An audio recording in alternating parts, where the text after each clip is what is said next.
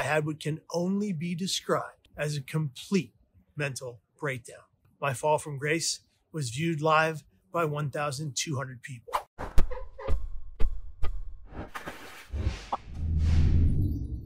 Hello again, friends. I want to say congrats to last week's comment winner. Make sure to watch until the very end of the video for a chance to be a comment winner. And when you comment, of course, as always, you will get a chance to have your comment be shown in next week's video. So stay tuned. What is it like living with bipolar disorder, aka bipolar depression? My mental health story. What's cracking, Hope Nation?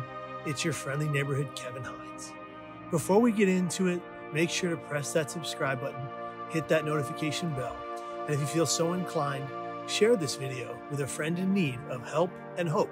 Okay, let's get right into it. In May of 1998, I was diagnosed with bipolar disorder type 1 with psychotic features. I was 17 and a half years of age. Prior to my diagnosis, I had developed paranoid delusions, manic highs, depressive lows, panic attacks, heart palpitations, and anxiety attacks. I also dealt with pretty serious and severe hallucinations, both auditory and visual. Most people don't equate the whole of these symptoms with bipolar type 1, but with psychotic features, it's an entirely different ballgame. At 17 and a half, while on stage performing in a sold out high school theater show as one of the leads, I had what can only be described as a complete mental breakdown. My fall from grace was viewed live by 1,200 people. It was absolutely 100% awful.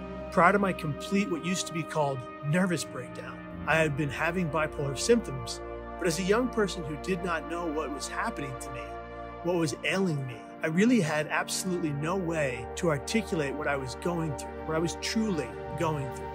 I didn't know how to express myself, nor did I know what to call it. The voices I was hearing told me I was worthless. The visions I saw were 100% terrifying, and the paranoid delusions made me believe people were out to get me, trying to hurt me, trying to end me.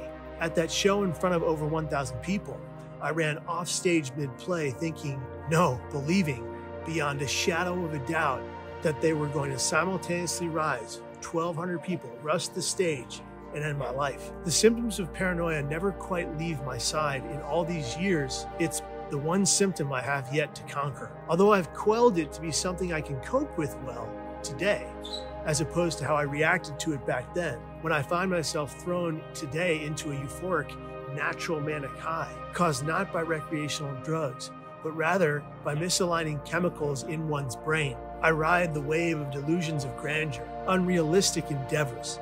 I find myself spending money I didn't have back then. In fact, back in college, I spent my entire trust fund in one single day on people at San Jose State University, which I had to leave due to bipolar disorder symptoms. But all, alas, once you go up, you must come, say it with me, down. For almost every manic high I've endured, I've come crashing down into a dark, deep depression. The actor Jim Carrey once said something to the effect of, and I'm paraphrasing here people who find themselves depressed are in desperate need of deep rest. His message is quite well informed and absolutely astute. Living with BPD type 1, I don't ever say that I am bipolar, even though it's something I hear a lot from people. I instead say I have bipolar disorder. I am in fact Kevin Hines. So to round out the video, I live with this diagnosis. Today I accept that it's real. I treat it by reading everything I can about proven, reputable forms of effective treatment. I get a Google alert on bipolar depression, and I work tirelessly for my better brain health.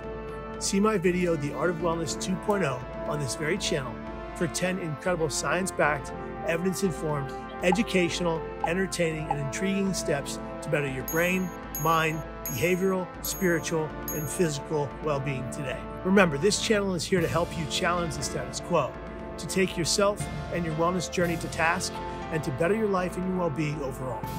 Next week's video will be all about how transcendental meditation can significantly benefit those with bipolar disorder, PTSD, anxiety, and of course, serious depression, even those with seasonal affective disorder. Make sure to subscribe, hit that notification bell, and once again, if you feel so inclined, share this with a friend in need. As always, thanks to my loyal viewers for choosing this channel. We recently hit the 15,000 subscriber mark, and for a guy like me, that's a huge deal. And I can't express how grateful and appreciative I truly am. As always, be well and forever, whatever you do, be here tomorrow and every single day after that. You are worthy, you are loved, you are valued, and you matter. And you matter to me. Take care, friends. I'll see you. Bye.